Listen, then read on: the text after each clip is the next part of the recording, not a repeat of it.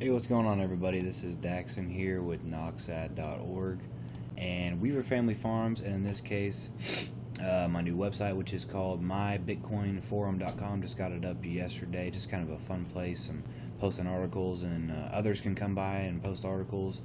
Uh, here's our Facebook page. You can go like it, and if you want to contact us with support to get your own articles up or any questions or suggestions about the website, you can contact us via our Facebook page. Um, but anyway, I'm going to go ahead and go over to the home page. I'm going to have to bring this down just a little bit. Uh, anyway, in this video, I'm going to be going over, like you can see, uh, here's an AdSense ad, and you can see the background is black, and sometimes ads aren't full size, so it looks bad. And also, like right here, the background color and stuff, that just looks horrible. Um, especially, you see the black here, the black here. I want it to be green in this case to match the background, so it looks a lot better. And of course, I am using WordPress. So you need to do is come to the, I'll go ahead and go back out and go all the way back in for you. Um, but you go to your appearance over here, you would go to customize.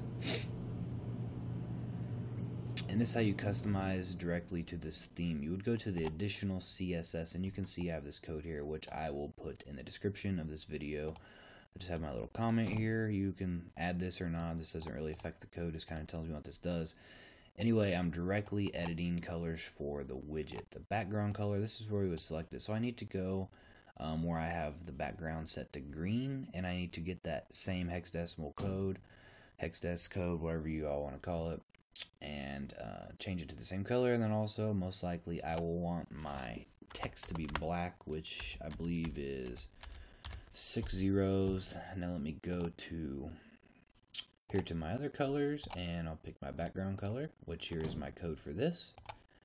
Go back over here and uh, hopefully we can have this all matching up so we don't have this black back here anymore. Alright, so it looks good. It just turned to green. If you can see that there.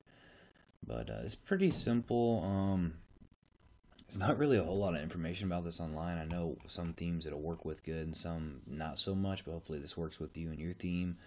I don't want to drag on this video forever. Once again, I'll have this um, in the description or the comments in this video here on YouTube.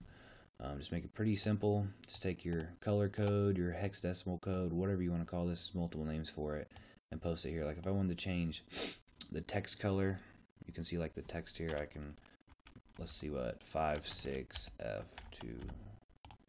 Let's see what color we get with that.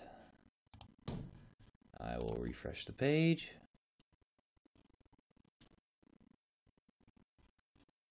Didn't see that change for some reason.